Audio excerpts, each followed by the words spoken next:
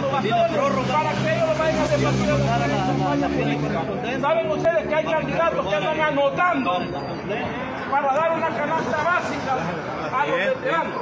Allá están, a los veteranos ven a anotar si quieren para la canasta. Y aquí van a salir, señores, campaña política. ¿Qué piensa, qué piensa de estos señores que, que- que el, el gobierno Nayib Bukele hizo prestado 20 millones en impuestos de guerra de Pepe y no lo ha regresado? Asimismo, el señor de gobernación pidió 40 millones y tampoco nos dijeron nada, pero los proyectos productivos no los dieron. Mucha gente está esperando los proyectos productivos. Asimismo, la canasta también se la robaron.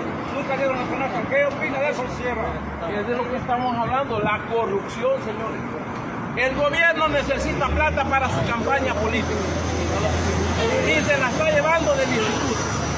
¿Por qué creen ustedes que aquí no dan los beneficios? Porque necesitan ahorrar, ahorrar, ahorrar, para que cuando termine el año, ellos dicen, no se, no se ejecutaron los proyectos, el dinero se lo mandan a Hacienda de nuevo.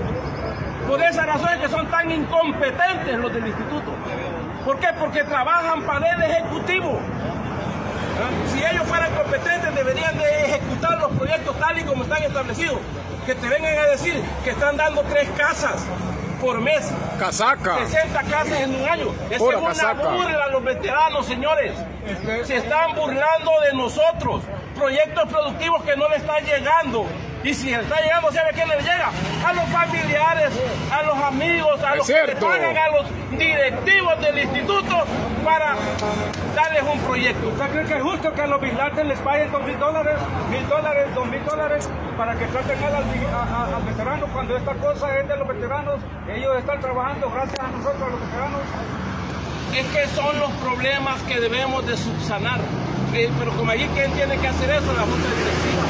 Pero como ellos están a manos llenas pagan bien para que los protejan, cuando esta casa dicen que es del veterano, pero esta es una cueva de ladrones, donde el veterano tiene que llorar para que lo dejen entrar.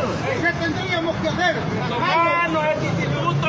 Hermano, este Para que el instituto. veterano despierte, que avive. ¡Jalo!